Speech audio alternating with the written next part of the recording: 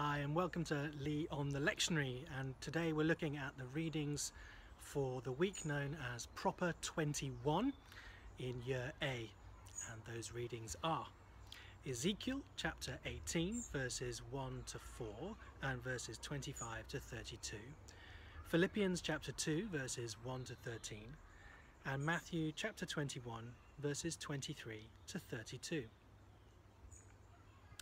our readings this week proclaim the liberating and challenging truth that it is not where you start, but where you finish that matters to God. Ezekiel's message in our Old Testament reading is that everyone belongs to God. The life of the parent and the life of the child are both mine, says the Lord. People who belong to God have to give an account for their lives to their maker and owner.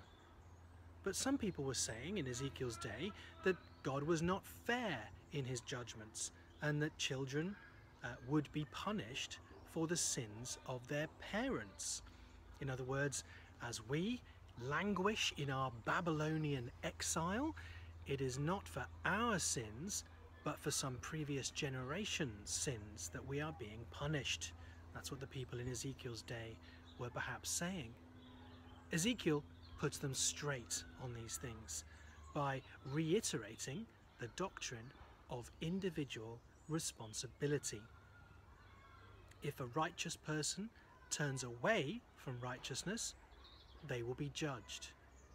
If a wicked person turns away from wickedness, they will be saved. The privileges of youth and upbringing and opportunity mean nothing if we do not pursue the path of justice and peace. It's not where we start, but where we finish. There is a hint here, however, that even the best of us cannot escape a just sentence. The only way to save our lives is to repent, to turn around, but merely exhorting us to get a life to get a new heart and a new spirit cannot actually accomplish the deed. As our Article 10 in the 39 Articles tells us, Article 10, the condition of man after the fall of Adam is such that he cannot turn and prepare himself by his own natural strength and good works to faith and to calling upon God. We have no power in ourselves to do good works that are pleasant and acceptable to God. God must act to regenerate us and to help us at every step. In Jesus' parable of the eventually obedient and eventually disobedient sons, we again see that to make a good beginning is never enough. Those who had risen to high positions within the religious leadership of God's people at the time of the Gospel reading, stumbled over the authority of Jesus. They did not hear his word and obey it, but they stopped to question and examine it with a view to disobedience.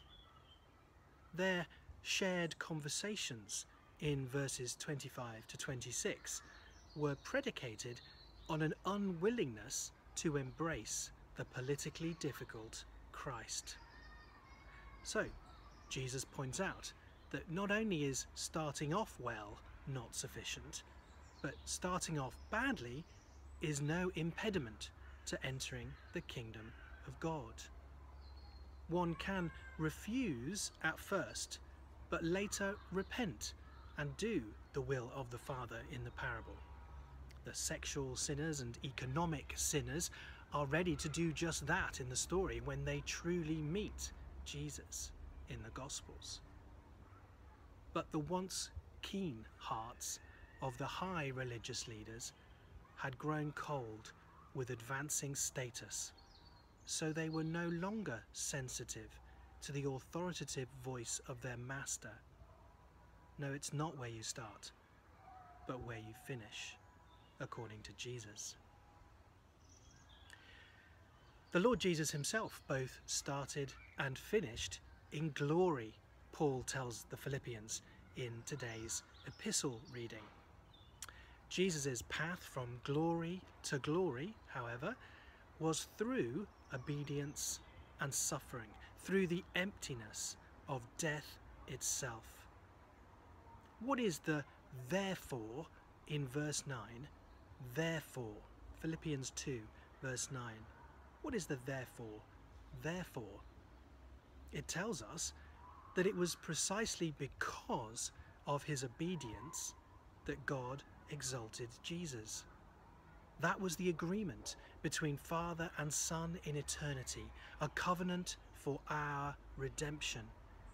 Christ took it upon himself to die for those given to him by the Father, who promised in return to raise and exalt him. Therefore, in the same way, Paul says we are to love those whom the Father has given to us as brothers and sisters in spiritual fellowship. We pursue unity with them and Christ like love for them, not out of selfish ambition, though there is great reward in obeying the Father, but with fear and trembling.